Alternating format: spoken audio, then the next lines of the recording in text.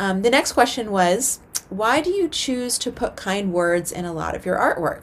Well, I love to spread, spread kindness and love in the world, don't you? Um, and I love to make letters part of my artwork to spread those messages.